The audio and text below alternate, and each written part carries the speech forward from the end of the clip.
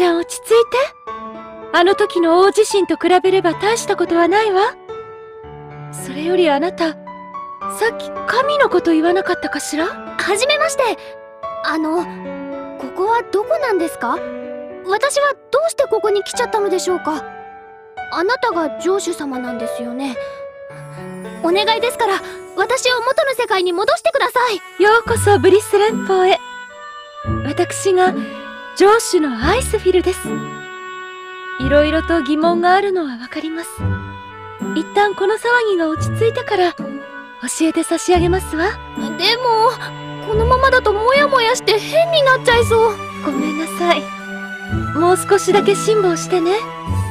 今日は神殿で新人レセプションを開く予定だったのだけれど遅刻した子を待っていたら突然地震が起きてしまったの。え？それってまさか私のことじゃないよね？ここに召喚された子たちは守護の女神によって見出されしダンスの精鋭なのです。みんなが無事だと良いけれど。めいちゃんを助けてくれたご主人様ならきっと困ってる人を放っておけないはずです。ああお優しい方ですのね。実は神殿は人手不足なのです。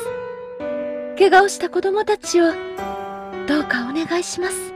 えああはい。じゃあ今度戻ってきたらどういうことなのか説明してくださいね。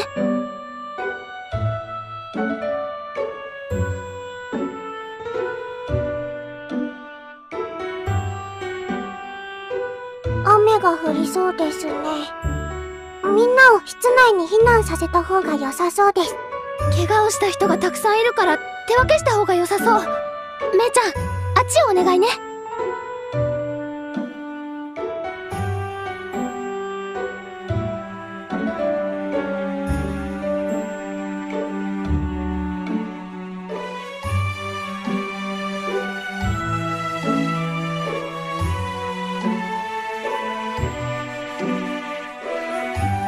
ご主人様。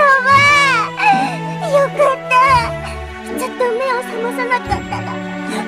ようかと思いました。姉ちゃんが道に倒れているあなたを見つけてくれたのですよ。誰かに襲われたようだけれど心当たりはある？それが全く何も。頭が。うんもう全身が痛い。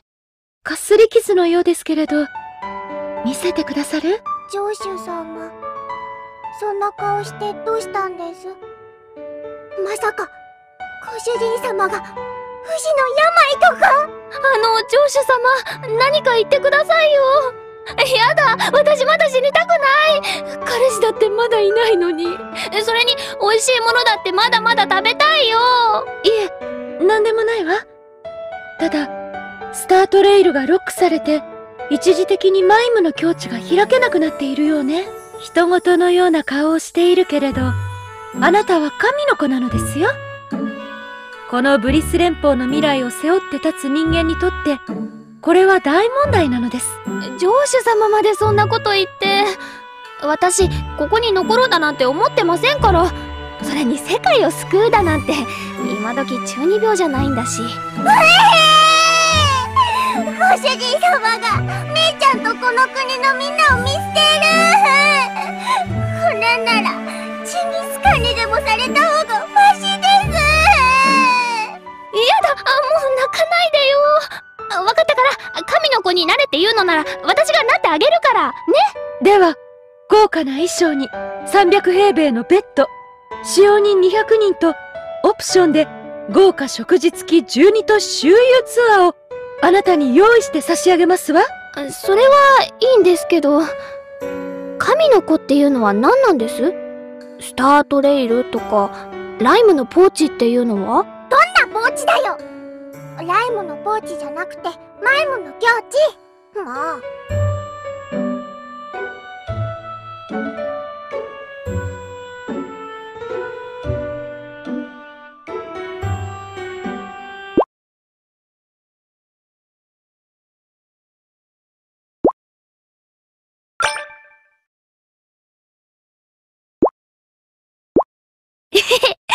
しょ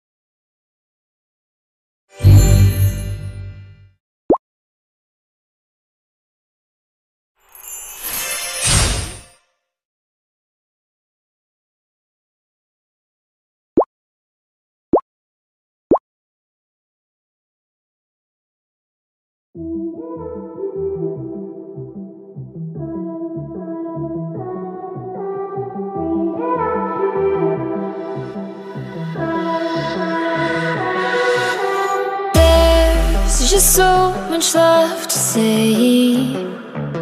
Wanna get to know you in every kind of way.